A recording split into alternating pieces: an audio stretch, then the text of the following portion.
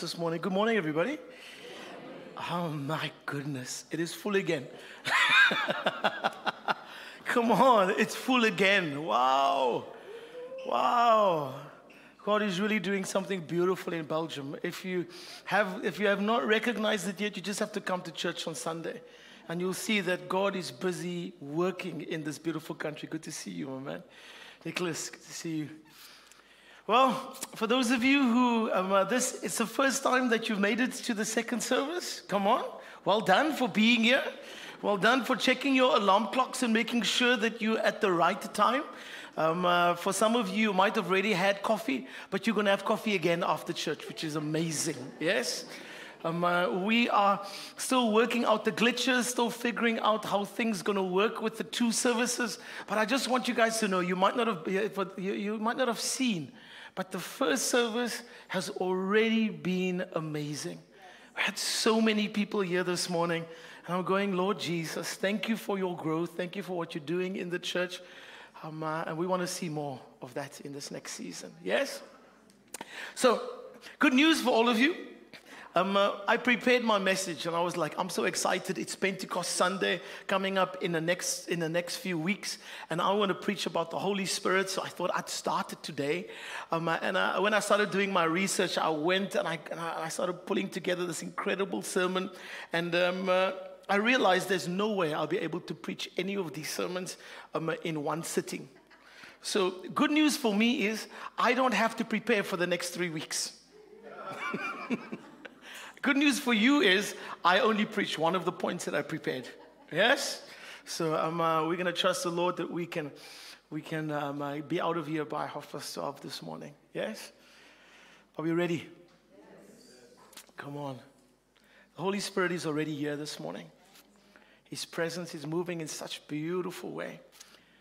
And if you've read the book of Acts, the disciples were gathered together in the upper room after um, uh, the death and the resurrection of Jesus, he'd gone on um, uh, and uh, he'd already ascended in the clouds, and they were hanging out in the upper room and they were praying. And the Bible says that about 120 days after Jesus had ascended, the Holy Spirit of God came and it fell on the disciples. And it fell upon the disciples as tongues of fire. Oh, and the whole place that they were that they were in was shaken. It was shooken that day. It's like it was shaking this morning when we were singing Show Your Power. The place was shaken. And the Holy Spirit ascended upon his people. And Peter, the same Peter that denied Jesus a couple of chapters, chapters earlier, is the same Peter that gets out onto the streets and he opens up his mouth and he starts preaching with great boldness about this Jesus Christ who walked the earth, who was crucified, who was resurrected, and who ascended into, in, into the heavens. And he makes an altar call. And 3,000 people get saved that day. Come on.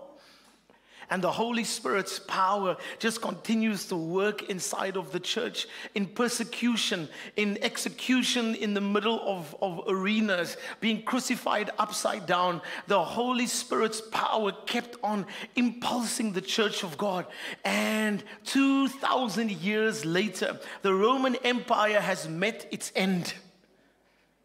But the church of Jesus Christ is still standing. And we will be standing up until the moment Jesus comes. Yes?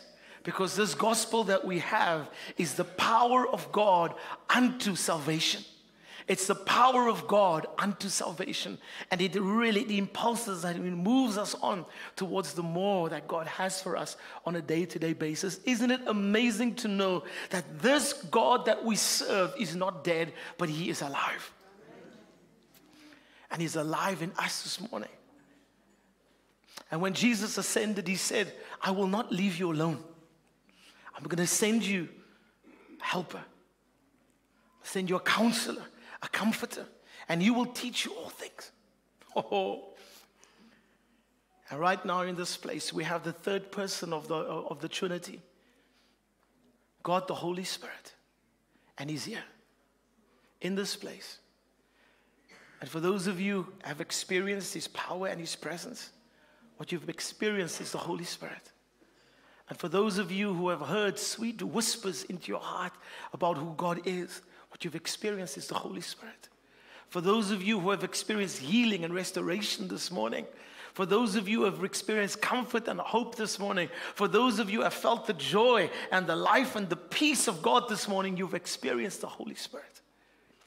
Because God is in this place by the power of His Spirit.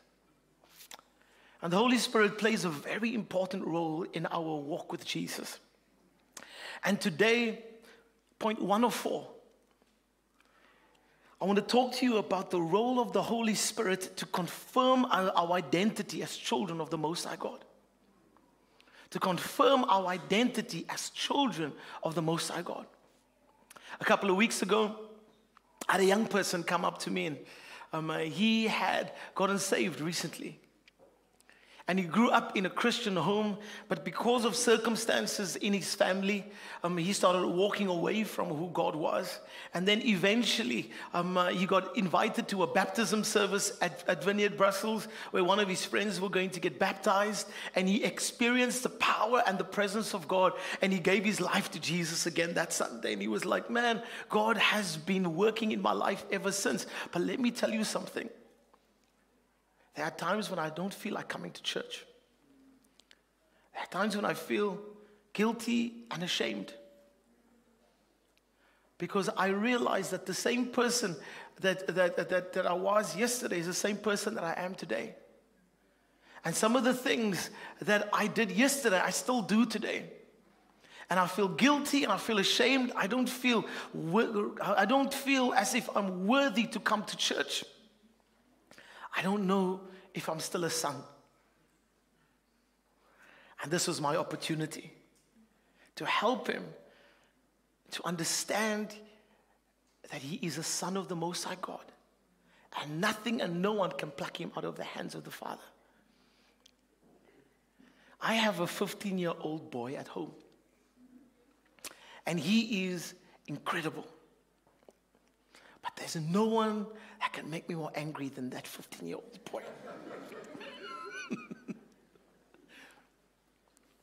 but it doesn't matter what he does, he will always be my son. He will always be my boy. And I will always be there for him. And I will always be the one that's first to hug him, first to kiss him, first to grab him and say, You will take a 20 second hug. You guys know that, that after 20 seconds, right, um, endorphins get released from your side and his side. So after 20 seconds, it's like, mm, I'm holding on, and the hug becomes a real hug. So I hold on for 20 seconds. I kiss my wife for six seconds or more. and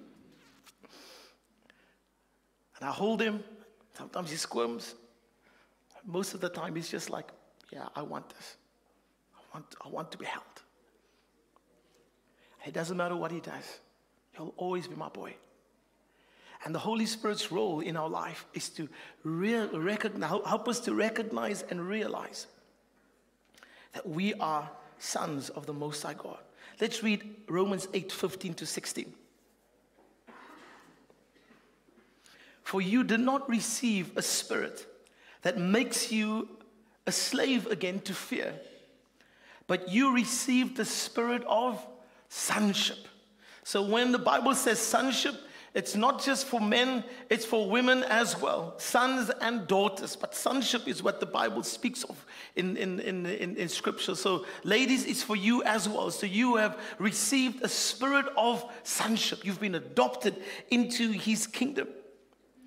And by him we cry, Abba, Father. The Spirit Himself testifies with our spirit that we are children of the Most High God. This passage just, just identifies for us, to, again, the role of the Holy Spirit and the importance of the Holy Spirit's role in our lives to make us remember that we are His and He is ours. So, the first thing I want to share with you this morning is assurance of salvation. And for some of you, you're like, Ricky, I know this. I did my, my foundations class. But for many others, you might not. And there might be times in your life when, like this young boy, you do some stuff or you or you or you sin and you walk away from God and you're like, I don't know if God loves me anymore. I don't know if He cares for me anymore. How could God love me when I am doing these things? And like Paul, there are times when we go, man, the things that I want to do, these things I do not do. And the things I want to do, um, uh, I find that the things I do not want to do, these things I find myself doing. Oh, wretched man that I am. And there are times when we look at ourselves and we think, oh, wretched man that I am. I know what is right. And the Bible says, for him who knows what is right to do and does not do it, for him this is sin. So when you know what is right and you're walking away from those things, there are times when Satan comes and he accuses you because he is the accuser of the brethren. It's his job. His job is to kill, to steal, and to destroy. And he's also the father of lies. So when he comes and he speaks to you, he comes and he tells, tells you, You're not a son anymore. Look at what you've done. Look at how you've messed up. Look at how you've sinned. How could God still love you when you have done these things? And he lies to you and he accuses you and he says, How can you stand before a holy God the way that you are? And it's in those moments where the Holy Spirit comes and he whispers into our hearts. A righteous man falls seven times but he gets up. So when the Holy Spirit whispers into our hearts, you are the righteousness of God in Christ Jesus. The Holy Spirit whispers into our hearts. It is by faith by, that you've been saved through by grace. It's not of works that any man should boast. And the Holy Spirit whispers into our spirit that we are saved not by our own works. We are saved by Jesus Christ, imputing his righteousness upon us. And because we are in him, we are the righteousness of God in Christ Jesus. When we do not know that voice, Satan can wreak havoc with our hearts.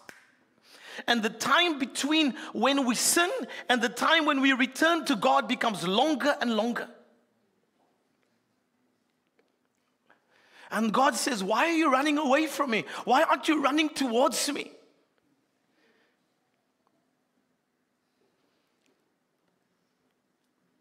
Satan comes and he says to you, You're not a son anymore. How would a son do that? And when you hear that voice, I want to encourage you to resist the devil because he will flee from you. Because the Bible teaches us when, so when, when the enemy comes in like a flood, the Holy Spirit will raise up a standard against him.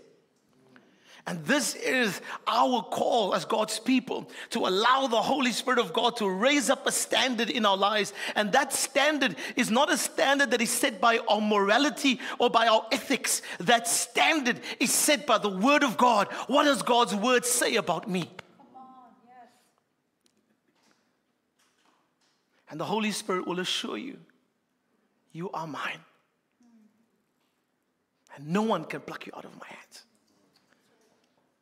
The second thing that the Holy Spirit does for us is it helps us to, to, to walk in intimate relationship with God. And if you look on our wall outside, you'll see the first thing that as a church we are trusting for Belgium is that people get to know God. That they don't just know about God, but they get to know God. That they don't just know about religion or religious expressions and they be able to teach you about philosophy and history, but they're not able to tell you about the living present God today. Our desire is for every person in Belgium to get to know God, to know Him, to walk in intimate relationship with Him. And this is one of the works of the Holy Spirit. One of the works of the Holy Spirit is to, is to connect us to that Abba, Father, that Daddy God. The Holy Spirit wants to help us to reflect that intimate connection that we have with the Father. Now, I'm a dad, Federico, I'm a dad. I'm a dad of three kids. I remember the first day that the doctor laid Alejandro right here on my chest. It's one of the best days of my life. I cried like a baby. He's, he's supposed to be crying. He wasn't crying. He was quietly lying on my chest, and I am bawling all over the place. And I've got this little head right here on my shoulder, and I and I smell him. Oh, and I feel him on me, and I hold him, and I and I speak to him. I say, "My boy, I will be there for you. I will always protect you. I will always love you. I hope that you'll always be able to run to me whenever you have trouble." This is what the Holy Spirit is there to help us to do with God. He's there to help us walk in intimate, knowing, loving relationship with the Father that loves us more than anything else, whose heart is for us, whose grace is sufficient for us, who wants to just draw us into His arms and tell us, Man, I love you so much. And I've got so much hopes for you got so much plans for you. Man, I started telling him about the stuff that the two of us were going to do together. Yeah? And when you are lying on the chest of your dad, he'll start to reveal purpose to you. He'll start to reveal destiny to you. You see, we think very often that our purpose is in the stuff. But the only place we find real purpose is not in how much we accumulate or how high we go in our jobs. It is in knowing God and living His purpose for our lives. And if our purpose involves us going to greater heights in our careers, if our purpose involves building huge businesses absolutely amazing because then we will not be doing it from a sense of I need to find my identity in what I do. We will be doing it from a place of I know who I am as a child of God and He's asked me to do this. Yes? Because when God asks you to do something, it is filled with life and it's filled with purpose. So, wanting to figure out what God's called you to calls us to that place of intimacy. And this is one of the things that the Holy Spirit helps us to do is to recognize the voice of Abba Father. The third thing the Holy Spirit helps us to do is to transform our character. In Galatians 5 and 22, it says, For the fruit of the Holy Spirit is the fruit, Anthony. I love fruit, Anthony. But these types of fruit I struggle with sometimes, I have to admit. He says, the fruit of the Holy Spirit, the fruit that the Holy Spirit produces in us. Produces in us the fruit that the Holy Spirit produces in us, our co laboring with the Holy Spirit in our lives, the fruit that that will produce in us is love, joy, peace, patience, kindness, goodness, gentleness, faithfulness, self control. Against such there is no law. God is saying, hey, if you want to bear these fruit in your life, get to know the Holy Spirit. Get to know Him. Because He will help to produce that fruit inside of you. I promise you, I don't have it. By myself, I don't have it. I don't know about you, but I struggle with patience sometimes, Gabs. I struggle.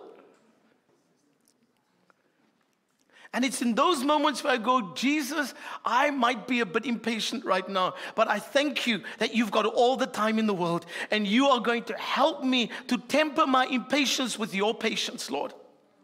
I learned early on in, in, in, in, my, in my career as a pastor, I learned early on in my career as a pastor that I need to do things in my garage. I'll tell you why. Because when you become a, a pastor, you realize that things don't go to your timelines. You want to start something, you want to finish something. But the way that God works is not the way that I work. God will start something in somebody's life and he will establish them in his time over his in his way.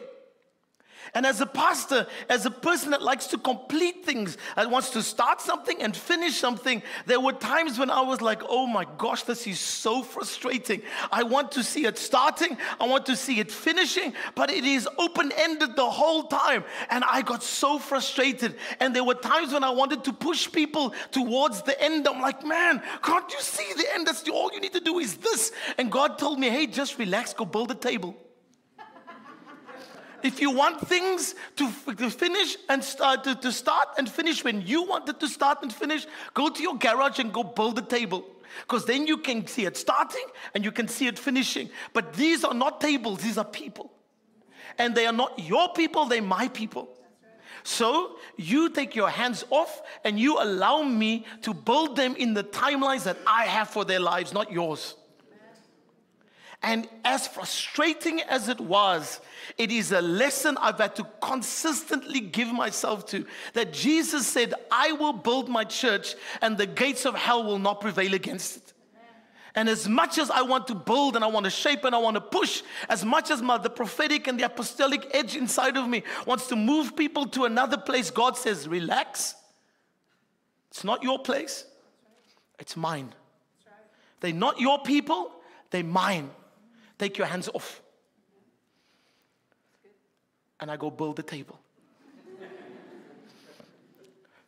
the Holy Spirit helps to transform our lives. He helps to make us more like Jesus. He helps to, to, to, to, to, to have this fruit that's already in us because we've got the fullness of the Holy Spirit in us to mature so that we can look like Jesus. My final point for this morning is he reminds us of our inheritance and reminds us that we are co-heirs with Christ. Let's look at Romans 8:17. Now, if we are children, then we are heirs, heirs of God and co-heirs with Christ. If indeed we share in his sufferings, in order that we may share in his glory. Come on. We are co heirs with Christ. God is, is reminding us, the Holy Spirit reminds us that there are times in life when things might not go the way you want it to. There are times when life hands you lemons and you don't know how to make lemonade. All you have is lemons. And the Holy Spirit reminds us in those moments that we are co heirs with Christ. That everything that we need for life, God has given us. And He also reminds us that even if we don't get it this side of heaven, Sam, we're definitely going to get the fullness of that when we get into, into eternity one day. I believe that God wants us to eat our steak on our plate while we wait. What that means is that we get to live a victorious Christian life today. However, not everything happens now the way we want it to. And in those moments, the Holy Spirit reminds us you might not see it now. But one day when you're with me, there'll be no more sickness, there'll be no more cancer, there'll be no more tears, There'll be no more anxiety, no more lack. Everything that you need is yours, it's been given to you. I think there are times when we become too temporally minded, that we only think of this 70 plus 20 years that we've been given on earth. And we don't forget, and we don't remember that this 70 years is but a drop in the bucket of eternity. God wants to remind us, guys, you are heirs of the inheritance of Christ. You are heirs of the inheritance of Christ. One day you're going to be with Him. And while you are here, you can walk in that inheritance. While you are here, you can have the fullness of life that you are trusting me for. While you are here, you can, you can push into the more of God for your life. But when it does not happen the way that you want it to, there's still an inheritance waiting for you in heaven. So we do not put our eyes on that which is temporal. We put our eyes on that which is eternal. And we don't build for ourselves cities on the earth, but we store up for ourselves treasures in heaven where moth and rust cannot destroy. I believe in this next season, the Lord is going to raise up many men and women that are going to be impacting society in incredible ways. He's going to raise up men and women that are going to be impacting business in incredible ways. I believe that as we come towards the end of times, that, that, that, that the Lord is going to raise up um, uh, doctors and lawyers, and He's going to raise up politicians, and He's going to raise up a, a, a church that is going to be seen and known. And everybody's going to look at them and go, Why are you different? What is it about you that makes you so different? And we will be able to look at them and go, It's Jesus Christ in me that has made the difference, and He wants to make a difference in your life as well.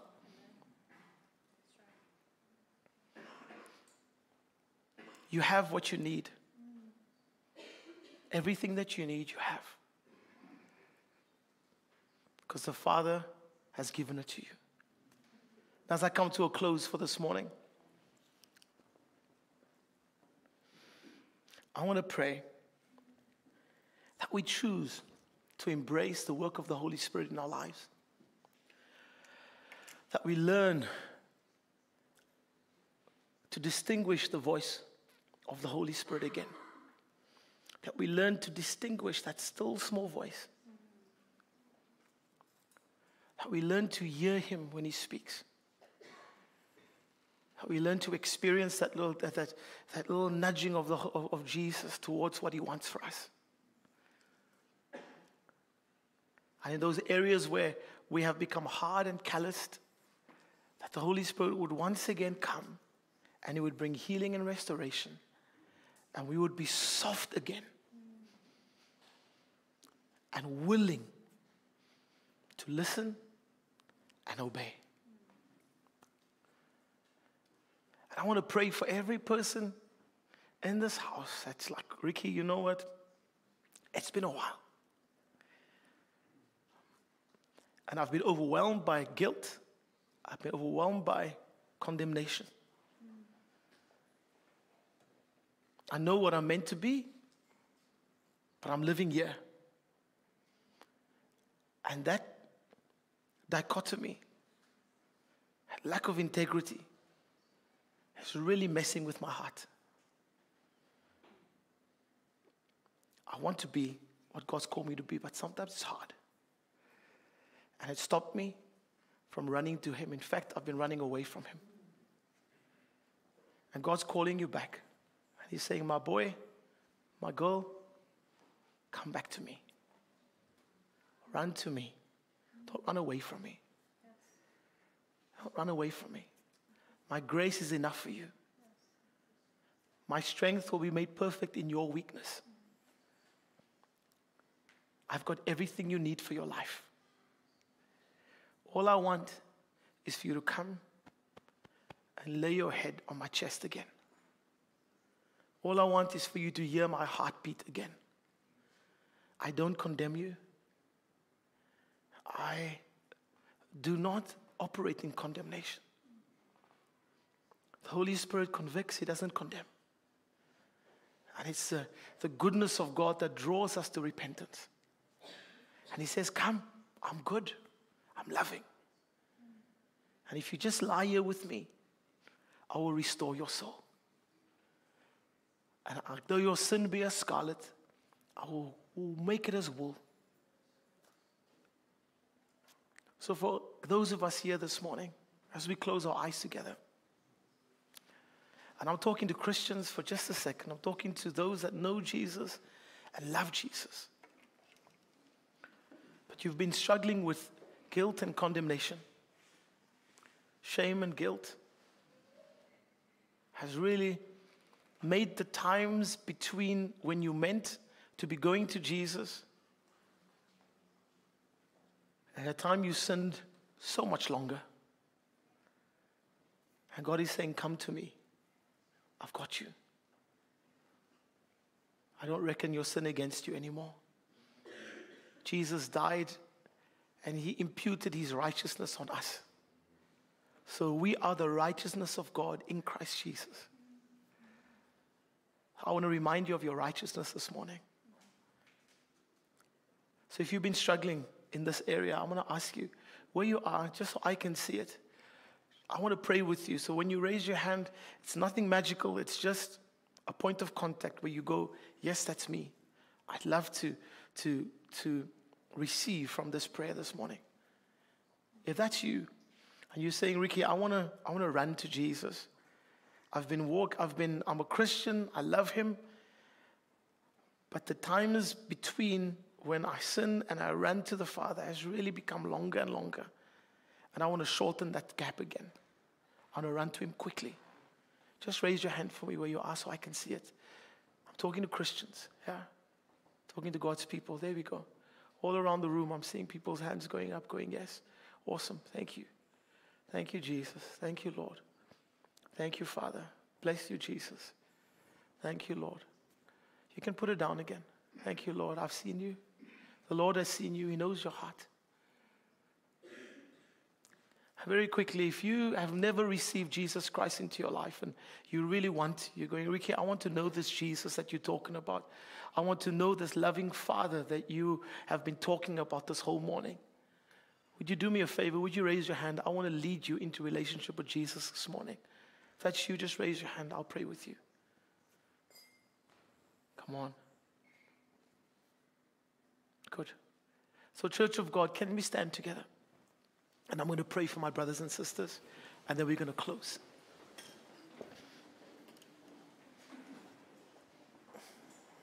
Thank you, Lord. Come, Holy Spirit. These are holy moments, guys. These are holy moments, holy moments. These are holy moments when we bring our hearts back to the Father. Holy moments. Come, Holy Spirit. Come, Holy Spirit. Would you have your way?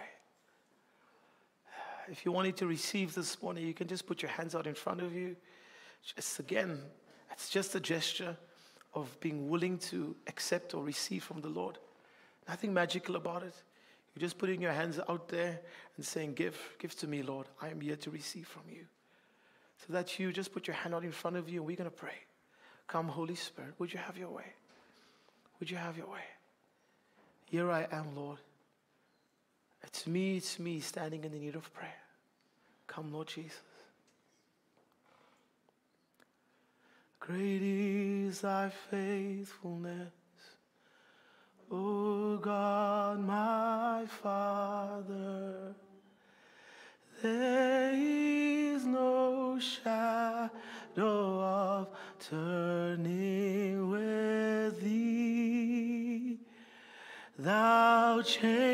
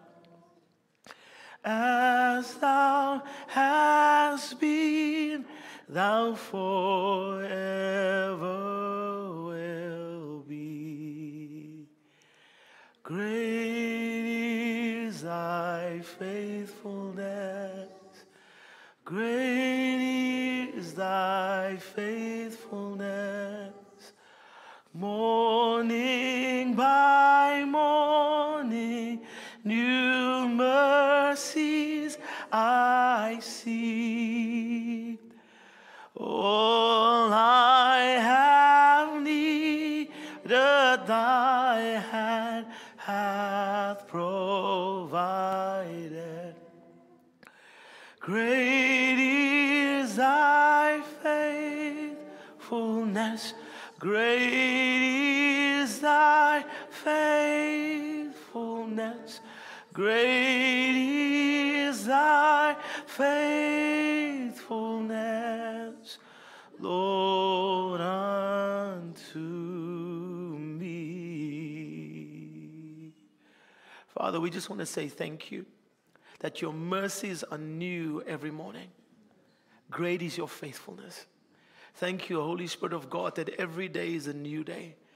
Every day, every moment is an opportunity for a new beginning. So, Lord, here we are, your children. And Father, we bring our hearts before you and we say, Lord, we are ready for a new beginning. We are ready, Father, to run to you once again. Where we have run away from you in our guilt, Lord, in our shame, we, we bring that before you and we say, Dad, we, we, we ask you for your forgiveness. And we receive your forgiveness this morning. We thank you that we are the righteousness of God in Christ Jesus. We thank you that you do not reckon our sin against us anymore. We thank you, Father, that all of our mess has been nailed to the cross, Lord, and you do not remember it anymore. As far as the east is from the west, Lord, you've removed our transgressions from us. So we bless you for that, Lord. And we thank you that we can come boldly to your throne of grace. We can run to you, Lord, and we can find mercy in times of trouble, Father. So, Lord, we decide this morning again that you will be the first person we run to, that we will not listen, Father, to the lies of the enemy any longer, and we will listen to your voice, Lord. And when you speak to us, Lord, we will run to you and we will we will run into your arms, Lord, and we will receive your love, Father. We will receive your goodness, Lord, and in that place, Father, we will come to wholeness, Lord, in you, in Jesus' name. Father, I pray blessing over this community, and I pray, Lord, that by your grace they would increase, Lord. That we would not just increase in this room, Father, but that we would increase in our families, Lord. That we would increase in our jobs, Father. That we would increase in our businesses, Father, in Jesus' name. That we would increase in politics, Lord. That we would increase, Father, in entertainment, Father. That we would increase, Father, wherever, Lord, you have called us, that we would grow, Lord, to, to, to represent the image of Christ Jesus, Lord, to a world that is in desperate need of a Savior. So come, Holy Spirit of God, and use us for your glory. We bless you that we could gather here today as your people. Now I pray that as you scatter us, Lord, that we would go with the power of the Holy Spirit and we would be salt and light, Father, wherever you have called us to operate in the name of Jesus. All God's people said, Amen and amen and amen. Bless you. Jesus.